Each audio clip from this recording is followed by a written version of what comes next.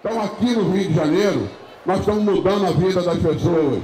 O governador Sérgio Cabral construiu já 35 UPAs 24 horas. O que, que é a UPA 24 horas? Em 96, Lindeberg, está aqui a dona Noêmia.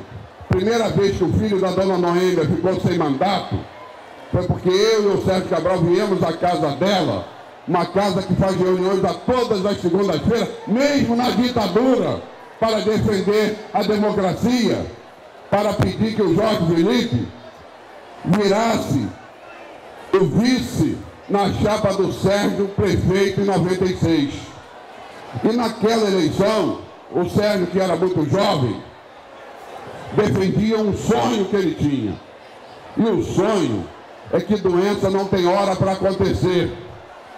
As pessoas ficam doentes a qualquer hora do dia ou da noite.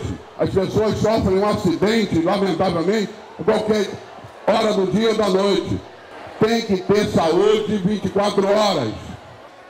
E agora já são 35 UPAs. Até o final do ano serão 55 UPAs. O Eduardo Paz, nosso companheiro, por isso que nós derrotamos o ex-prefeito e elegemos o Eduardo. Está fazendo 20 UPAs. Está fazendo 70 clínicas na família. Sabe por quê, Lindeberg?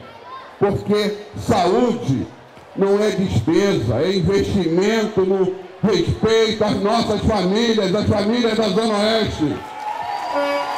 O governador Sérgio Cabral, ele continuou sonhando e sonhou que da mesma maneira que era preciso, era possível ter saúde 24 horas, era possível ter remédio, porque as pessoas hoje vão na UPA e saem com remédio, porque saía com a receita depois de horas na fila e muitas das vezes não tinha dinheiro para ir à farmácia comprar o remédio. As pessoas dizem, ah, mas isso não é possível, é possível sim, quando o político tem vergonha na cara, quando o político não rouba nem deixa roubar.